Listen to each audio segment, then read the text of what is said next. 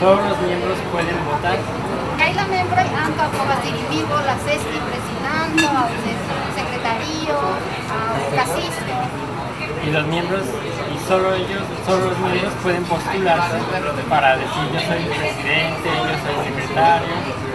Víctor Iván Sombra Argüelles conoció el esperanto casi por casualidad hace cinco años, mientras consultaba una enciclopedia para niños en internet.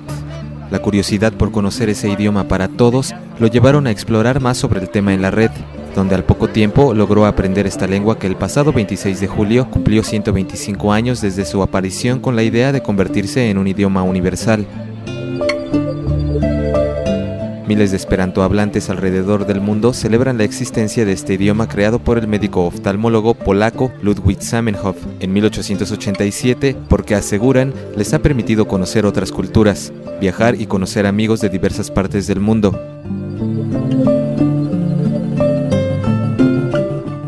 Mayeli Martínez, presidenta de la Federación Mexicana de Esperanto, está convencida de que la utopía de Samenhof de hacer que este idioma uniera a las personas de diferentes países ya es posible, al menos por Internet.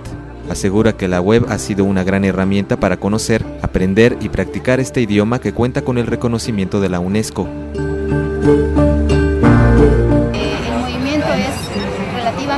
Fuerte por el internet y también porque cada vez se ofrecen más ventajas. Ahora es posible certificar los conocimientos del idioma dentro del marco común europeo de referencia para las lenguas. Es decir, si una, eh, si una persona, por ejemplo en Hungría, como el esperanto ya está dentro del marco común, para la gente que se quiere titular, a ellos les piden tres idiomas.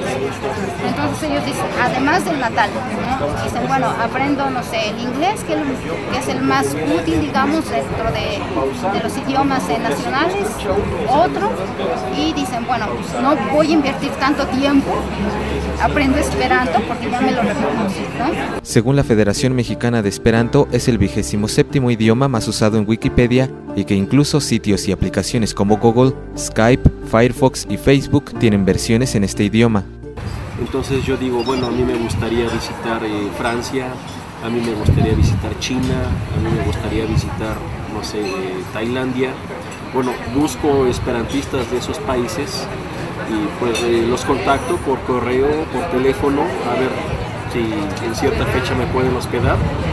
Si ellos tienen tiempo y todo, pues me dicen que sí, y yo puedo ir y los puedo visitar, puedo conocer el país y lo más importante no es como cuando uno va y paga servicios turísticos que pues sí lo pasean uno por la ciudad y tenemos estos monumentos. En este caso eh, uno visita a las personas y uno está conviviendo con las personas.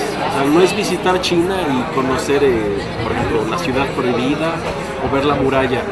O sea, es visitar China y convivir con los chinos. Una de las bondades que los esperantistas destacan de este idioma, que se ha planteado como una lengua neutral y que no está ligado a la cultura ni al poderío de ningún país, es su sencillez y facilidad para aprenderlo, por su gramática regular, sin excepciones y por el uso de afijos para construir vocabulario. Con 27 letras forman su alfabeto. Además, el aprendizaje es más sencillo para quienes hablan algún idioma romance, como los hispanohablantes, ya que casi 70% de sus raíces provienen del latín. Muy flexible y es, un, es aglutinante, entonces realmente tiene mucho potencial, nos hace que pensemos de una manera lógica, porque uno forma palabras a partir de sufijos o prefijos entonces, pues realmente es, un rompecabezas muy interesante. Con imágenes de Francisco Trejo Gómez e información de Ávida Aventura, El Universal.